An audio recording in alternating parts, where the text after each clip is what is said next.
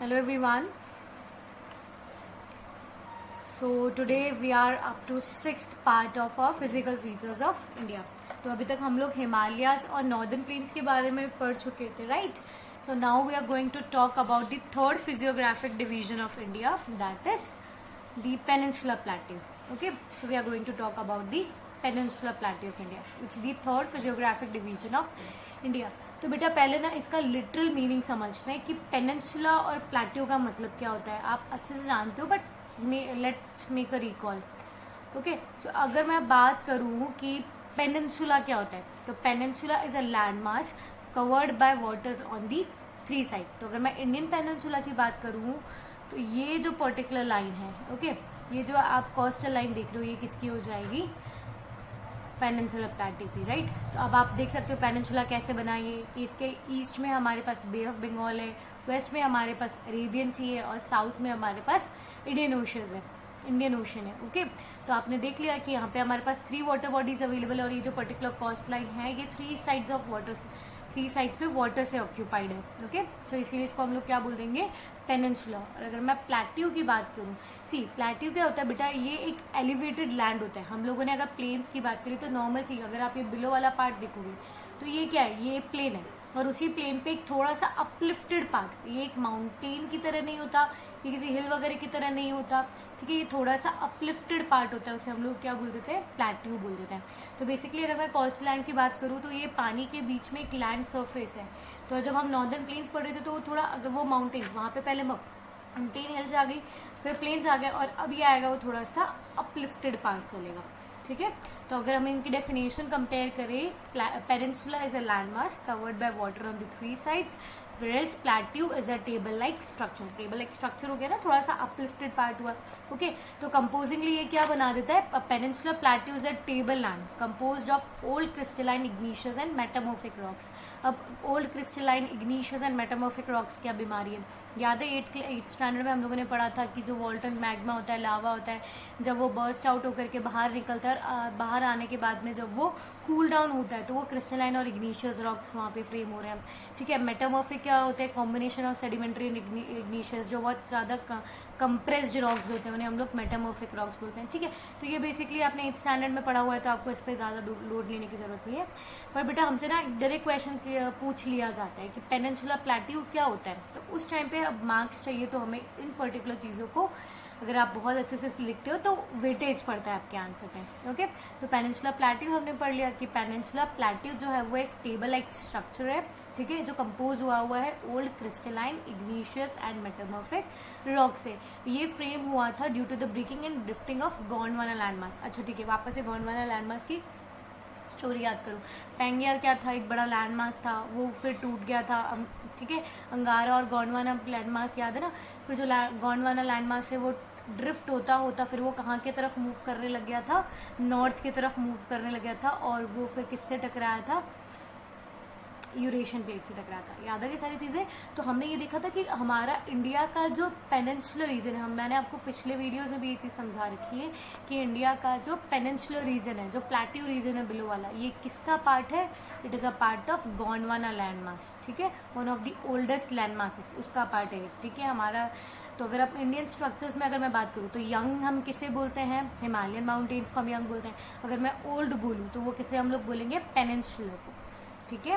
One of the अगर आपसे पूछ लिया जाए कि वन ऑफ़ दी चलो एक क्वेश्चन तुमसे मैं पूछती हूँ यहीं पे। इसका आंसर मुझे कमेंट सेक्शन में दे देना कि which of the following is the youngest land feature ठीक है, या यंगेस्ट रिलीफ फीचर है? तो अगर इसमें से greater Himalayas middle Himalayas outer Himalayas and the peninsula plateau तो अब अगर आपको मुझे इसमें से बताना पड़ेगा कि यंगर कौन सा है तो वो भी आप मुझे बता पाओगे। और अगर आपसे पूछा जाएगा ओल्डेस्ट तो वो भी आप मुझे बता पाओगे राइट तो अब आप इसका दोनों का यंगेस्ट एंड ओल्डेस्ट का, इन पर्टिकुलर फोर ऑप्शन में से मुझे वापस से आंसर चाहिए आपका कमेंट सेक्शन में okay I am repeating the question for you which is the most youngest and the oldest physical feature from India greater Himalayas inner Himalayas outer Himalayas और the greater और middle हो जाएगा, inner तो नहीं होगा। Greater Himalayas, middle Himalayas, outer Himalayas and last one was the peninsular plateau ठीक है? तो ये चीज़ आपको समझ में आ गई। पेनेंसुलर प्लाट्यू अब हम किसे कहते हैं? ओके नाउ नेक्स्ट ये भी हम लोगों ने पढ़ लिया कि प्लेट्यू क्या होता है।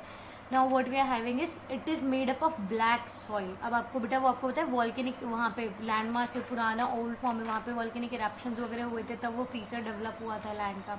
ओके तो आपने बात करी था क्रिस्टनाइन इग्निशियस मेटामोफिक तो ये किससे बना हुआ होता है? वॉल्केनो वॉल्केनो के कूल डाउन होने के बाद में ये रॉक्स बनते हैं। फाइन तो it is made up of black soil it has broad and shallow valleys and rounded hills, जैसे हम लोगों ने सबके अंदर पढ़ा था कि किसी में ड्यून्स थे, किसी में वैलीज थी, किसी में ग्लेशियर्स थे, उसी उसी तरीके से अगर हम लोग बात करें पर्टिकुलरली हमारे पेनिनसुलर प्लेट्यू की तो उसके अंदर भी rounded hills and shallow valleys available है हमारे पास ओके सो बेटा, अब मैं फर्दर मूव करती हूँ।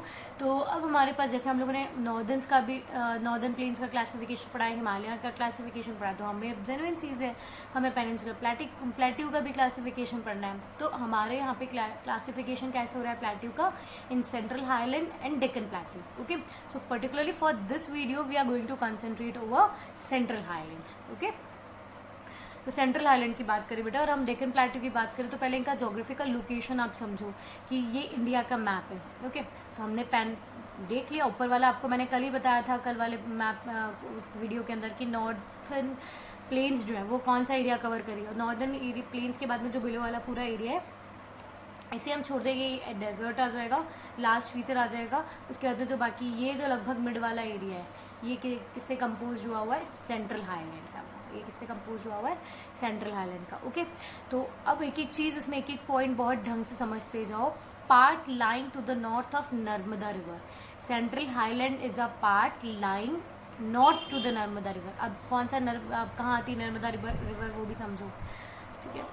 अब हम पेन यूज़ कर लेंगे ओके सी बेटा, अब आपको यहाँ पे एक ब्लू लाइन बहुत इजीली मार्क दिख रही होगी विद्यांचल विद्यांचल रेंज के बीच बिलो में। ठीक है? तो ये जो लाइन जा रही थी इधर से, ये कौन सी रिवर है? हमारी नर्मदा रिवर और इसका मूवमेंट कैसे होता है? सी हम ड्रेनेज चैप्टर में हर एक रिवर का मूवमेंट पढ़ने वाले हैं बट फॉर शॉर्ट अभी मैं आपको यहाँ पे बता देती हूँ, इसका मूवमेंट होता है इस डायरेक्शन में फ्रॉम ईस्ट टू वेस्ट और फिर ये बाद में चले जाती है इधर इधर कौन सा था हमारे पास? अरेबियन सी, है ना? तो वहाँ पे जा कर के ये सबमर्ज हो जाती है फिर उसके अंदर। तो क्लियर है? यहाँ तक समझ में आया आपको कि हमारे जो हमारा जो सेंट्रल आइलैंड है, ये कहाँ पे आता है? इसका लोकेशन हम लोग क्या समझेंगे? कि this is the part line to the north of Narmada river तो नॉर्थ ऑफ़ नर्मदा रिवर हो गया। बेटा, एक एक पॉइंट को समझते जाना बहुत क्लियरली समझ में आ जाएगा और बहुत इंपॉर्टेंट पॉइंट्स भी हैं ये। See major part of the Malwa plateau makes up the central highland अब मालवा प्लेट्यू कहाँ पर है, ये भी हम समझते हैं। सी अगर मैं बात करूँ मालवा प्लेट्यू की तो मालवा प्लेट्यू भी यही है विध्यांचल रेंज और इसके बीच में जो ये एरिया दिख रहा है ना आपको, जहाँ से रिवर फ्लो कर रही है नर्मदा जो एरिया भी आपको बताया था, ये मालवा प्लेट्यू है। ओके तो ये पर्टिकुलर ये जोन होता है जो बहुत ज़्यादा इंपॉर्टेंट होता है। ठीक है, अब इसमें ईस्ट में कौन आता है, वेस्ट में कौन आता है, नॉर्थ में कौन आता है, साउथ में कौन आता है, ये सारी चीज़ें भी हम लोग पढ़ने वाले हैं। अगर आपको मालवा प्लेट्यू का लोकेशन और नहीं समझ आया है then you are having this thing जी, अब ये समझ में आ गया आपको यहाँ पे कि ये हमारा मालवा प्लेट्यू है। इसके ऊपर जस्ट ऊपर हमारी विद्यांचल रेंज थी, जहाँ पे हमारी नर्मदा फ्लो करके जा रही है, ठीक है? तो मैं, ये वाली नर्मदा बीच में फ्लो कर रही है यहाँ पे हमारे। सी नर्मदा का आपको ध्यान रखना है कि नर्मदा जो है वो एक रिफ्ट वैली में से फ्लो करती है। यहाँ भी माउंटेन्स और इधर भी माउंटेन्स है, ठीक है? तो वो प्लेट्यूज आ जाता है एक तरफ़ ओके फिर उस रिफ्ट में से वो फ्लो करके जा रही है। किसी भी तरीके से कंफ्यूज मत होना। हर एक चीज़ आपको बहुत अच्छे से समझा दी जाएगी। नहीं आता समझ में तो कमेंट्स में बता देना। मैं वापस इसके लिए, इस पर्टिकुलर टॉपिक के लिए वीडियो बना दूँगी, ठीक है? तो part of it is a part line to the north of Narmada river ये भी चीज़ हमने समझ ली। चलो आपको रिवर वाला फ्लो भी बता देती हूँ कि रिवर कहाँ आती है प्रॉपरली नर्मदा रिवर ठीक है? अगर आप इस पर फोकस करो, इसको हम जूम नहीं होगा ये। तो आपको नर्मदा ये फ्लो होती हुई दिख रही है। ओके तो नर्मदा रिवर के नॉर्थ वाला एरिया ये वाला जो एरिया आएगा। क्लियर है? सो वैभवी थर्ड पॉइंट क्या है हमारा? It is covered by Vindhyan Vindhya ranges in the north and Satpura ranges in the south ये भी मैं आपको बता चुकी थी बेटा जस्ट अभी हम लोगों ने ये चीज़ भी देखी थी। Uh, वापस से देख लेते हैं कि यहाँ पे नॉर्थ में तो हमारे पास क्या है? विध्यांचल रेंज है और साउथ में हमारे पास आ जाती है क्या आ जाती है? सतपुरा रेंजेस ठीक है? बेटा अब हम लोग सेंट्रल हाईलैंड की लोकेशन पढ़ रहे हैं। ओके इस सेंट्रल हाईलैंड के नॉर्थ में क्या है? विध्यांचल रेंज और नीचे बिलो में साउथ में क्या है? सतपुरा रेंज ठीक है? समझ में आ गया यहाँ तक आपको वापस से? तो कहाँ थे हम वापस? सी क्लियर और फिर ईस्ट में हमारे पास क्या आ जाती? है नॉर्थ वेस्ट में। नॉर्थ ईस्ट में तो हमारे पास छोटा नागपुर प्लेटियो हो जाएगा। और फिर वेस्ट में हमारे पास क्या आ रही है? अरावली रेंजेस वापस से समझते जाओ इसको पर्टिकुलर बहुत इंपॉर्टेंट चीज़ है। समझना, ये हमारा सेंट्रल हाईलैंड का पार्ट है। See I am not able to locate बहुत पर्टिकुलर एकदम एजेस इसके नहीं मार्क कर पाऊँगी मैं। आप समझने की कोशिश करो कि ये जो पर्टिकुलर एरिया आ रहा है हमारा, है ना? ठीक है, ये हमारा सेंट्रल प्लेट सेंट्रल प्लेट्यू का आएगा सेंट्रल हाईलैंड का आएगा। तो इसके नॉर्थ में अगर मैं बात करूँ तो वो कौन सी विध्यांचल रेंज है। साउथ में अगर मैं बात करूँ तो कौन सी आ जाएगी? सतपुरा रेंज आ जाएगी। नॉर्थ वेस्ट में दिख रही है ना?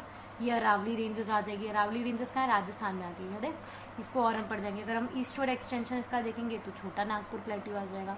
तो ये सारी चीज़ें आपको समझनी है। बेटा डायरेक्ट क्वेश्चन आते हैं कि एक्सप्लेन बहुत सी बार क्वेश्चन आता आ जाता है differentiate between central highland and Deccan plateau और बहुत सी बार एक डायरेक्ट क्वेश्चन आ जाता है कि एक्सप्लेन सेंट्रल हाईलैंड तब आपको पॉइंट्स होने चाहिए। अगर आप खुद अभी अभी समझोगे तो आप बाद में कॉपी में समझा पाओगे।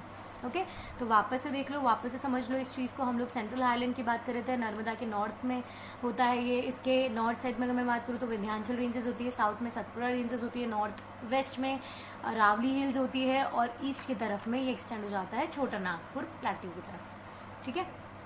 बैक आ जाते हैं वहाँ पे से हम लोग। अब इसके अंदर ना फोर रिवर्स ड्रेन करती है, चंबल, सिंध, बेतवा एंड किंग यहाँ पे थ्रू आउट फ्लो करती रहती है और इनका मूवमेंट कैसा होता है? It moves from south west to south east see अब ये चीज़ आपको समझने की ज़रूरत है कि अब हम हर चीज़ का रीज़न समझते हैं। ठीक है, अब ये रिवर्स जो है, वो इसी डायरेक्शन में क्यों फ्लो कर रही है? साउथ ईस्ट में होकर साउथ वेस्ट में होकर के साउथ ईस्ट की तरफ़ क्यों फ्लो कर रही है? अब हम ये समझेंगे। तो देखो बेटा, अब यहाँ पे हम लोग रिवर वाला निकाल लेते हैं। ठीक है, अब आपको यहाँ से बहुत अच्छे से समझ में आ जाएगा। ये बेतवा दिख गया होगा आपको, यहाँ सिंध दिख गया होगा। ठीक है, यहाँ आपको चंबल दिख गई होगी। तो इनका जो फ्लो है ना, वो इस तरफ़ आता है। ठीक है, ये इस तरफ़ ऐसे फ्लो आ करके आती है। और फिर ये एक्सटेंड हो जाती है वापस बे ऑफ़ बंगाल की तरफ़। दिख रही है ना, सारे रिवर्स यहाँ पे बे ऑफ़ बंगाल के अंदर जा करके सबमर्ज हो रही हैं। ठीक है तो अब आप ये क्यों होता है? अब आपको जेनुइनली आपने पानी को फ्लो करते हुए देखा है है ना? तो वाटर फ्लो हमेशा किस डायरेक्शन में होता है? जहाँ स्लोप होता है। फाइन तो ये पेनसुलर प्लेट्यू जो है, हमारा सेंट्रल हाईलैंड जो है पर्टिकुलर पेनसुलर प्लेट्यू का, इसका जो है वो कुछ इस तरीके से बना हुआ है ओके तो यहाँ की तरफ़ जो है, ये थोड़ा अपलिफ्टेड और ब्रॉड से है। ठीक है? और जैसे जैसे ये मूव करता जाता है ईस्ट की तरफ़ में, ये नैरो भी हो जाता है और वहाँ इसका एक्सटेंशन भी चला जाता है। इस तरह से इसका स्लोप आता है। दिख रहा है ना मेरा हाथ? इधर आप अगर आप कंपेयर करोगे इस तरफ़ तो ये थोड़ा ब्रॉडर भी है जैसे अगर मैं हम लोग बेल्ट में नील्स की तरफ़ चले जाएँगे, ठीक है? तो वहाँ ये नैरोअर होता जाता है। क्लियर आ गई आपको यहाँ पे सिचुएशन समझ में? ओके तो इसीलिए रिवर का मूवमेंट समझ में आ गया। ईस्ट की तरफ़ क्यों मूव कर रही है? Because of the slow okay so इन्हीं एरियाज़ को फिर हम लोग क्या बोल देते हैं? बुंदेलखंड एंड भागेलखंड। अब इसको भी आप देखो इसकी भी लोकेशन मैंने आपको बता रखी है। ये भी हम देख लेते हैं। हम्म, यहाँ पर है। सी यहाँ पे हमारा डेक्कन प्लेटो को तो हमें पढ़ना ही नहीं अभी। ये हम बाद में देखेंगे इसे हटा दूँ। मालवा प्लेट्यू आ गया। यहाँ पर इसका मेजर पार्ट हो गया। मालवा प्लेट्यू मैंने बताया था ना अभी कि मेजर पार्ट होता है। फिर इसका आगे देखो जब ये ईस्टवर्ड डायरेक्शन में फ्लो करती हुई जाती है रिवर्स तो बुंदेलखंड प्लेट्यू भी आ गया और ये भागेलखंड प्लेट्यू भी आ गया। ठीक है? ये भी आपको दिख गया बहुत क्लियरली फिर उसके बाद में Chota Nagpur plateau marks further eastern eastward extension फिर ईस्टर्न बाउंड्रीज पे कौन आ गया हमारे पास? छोटा नागपुर।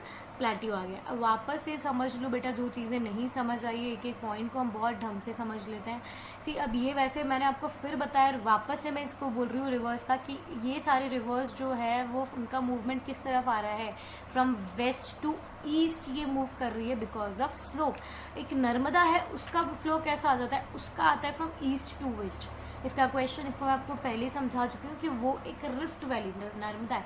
अगला जो हमारा ड्रेनेज चैप्टर है, वो इन्हीं सब रिवर्स के मूवमेंट से डील करेगा। फिर भी आपको मैं एक बार बता देती हूँ एंड आई आज की दिस क्वेश्चन अगेन ओके बहुत इंपॉर्टेंट है।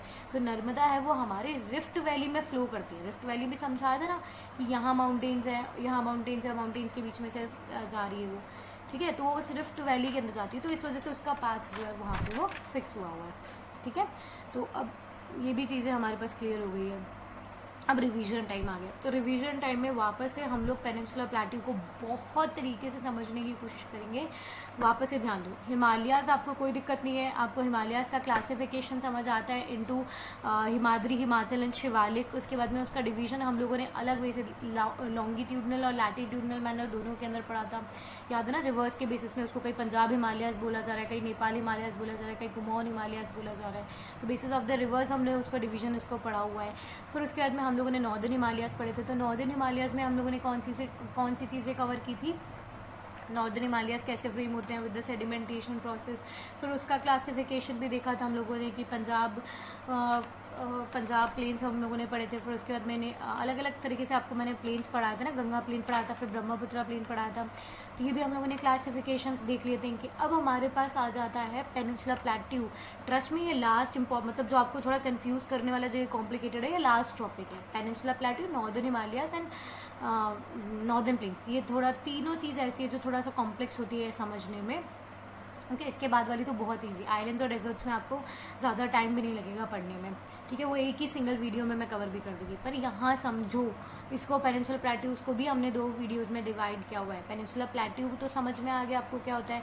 उसे हम लोग पेनिनसुलर क्यों बोलते हैं। उसका प्लेट्यू रीज़न होने का होने का उसका रीज़न क्या था, ये भी मैंने समझा दिया, क्योंकि वो सेंट्रली अपलिफ्टेड पार्ट होता है। टेबल एक सरफेस हो रही है। फिर उसके बाद में हम लोगों ने ये भी समझ लिया था कि पेनिनसुलर प्लेट्यू कैसे बना है। It is the oldest part of India land feature ठीक है? गॉडवाना लैंड मास से टूट करके ये बना था ड्रिफ्टिंग हुई थी जब गॉडवाना लैंड मास की, ठीक है? मैंने ये सारी चीज़ें आप लोगों को कन्वेक्शनल वहाँ पे कौन सी एक्टिविटी हुई थी फोल्डिंग एक्टिविटी हुई थी सारी चीज़ें मैं आपको पहले समझा चुकी हूँ, ठीक है? उसके बाद में हम लोगों ने डिवीज़न की बात करें कि अब हमारा जो पेनिनसुला प्लेटू है, वो भी दो पार्ट्स में ब्रॉडली कैटेगराइज हो जाता है between central highland and the Deccan plateau जो अपर नॉर्दर्न पार्ट आ जाता है, वो तो सेंट्रल हाईलैंड है, और जो बिलो वाला पार्ट हो जाता है, वो डेकन प्लेटू इसी तरीके से होता है ना ये, ठीक है? तो सेंट्रल पार्ट हो गया हमारा नॉर्दर्न और जो हमारा डेकन प्लेटू है वो क्या हो गया हमारा सदर्न पार्ट फिर इसमें भी हम लोग बहुत अच्छे से समझ चुके थे कि जो सेंट्रल पार्ट है वो क्या है। ठीक है अभी केवल फोकस करो सेंट्रल हाईलैंड पे। सेंट्रल हाईलैंड कहाँ आती है? वो आपस में बहुत ईजी नर्मदा के नॉर्थ में राइज होती है मालवा प्ले, प्लेट्यू जो है इसका वो इसका मेन पर्टिकुलर फोकस्ड एरिया है मतलब ज़्यादा कवर वही एरिया इसका मेजर एरिया आता है। नॉर्थ में हमारे पास विद्यांचल रेंज है साउथ में हमारे पास सतपुरा रेंजेस है। अगर मैं ईस्ट की तरफ़ बात करूँ तो वहाँ पे छोटा नागपुर प्लेट्यू आ जाता है और वेस्ट की अगर हम बात करें तो वहाँ पे अरावली रेंजेस आ जाती है। नॉर्थ वेस्ट डायरेक्शन हो जाएगा, बताइए। नॉर्थ साउथ फिर ये इधर की तरफ़ आता है। ठीक है? ये ऐसे आ जाता है इसका लोकेशन ये आपको लोकेशन भी समझ में आ गया इसका। फिर उसके बाद में हम लोगों ने देख लिया था कि यहाँ कौन कौन से रिवर्स फ्लो करती है चंबल बेतवा है ना? तो ये सारे रिवर्स भी हम लोग देख चुके हैं। ठीक है? तो ये I think so central highland आप लोगों को क्लियर होगा। फिर भी किसी तरह का अगर कोई भी डाउट रिमीनिंग रहता है तो प्लीज़ उसे कमेंट सेक्शन में बता दो मेंशन कर दो। मैं वापस इसके लिए और आपको कोशिश करूँगी आपको समझाने की। Okay so for the next video we will go with Deccan class okay thank you every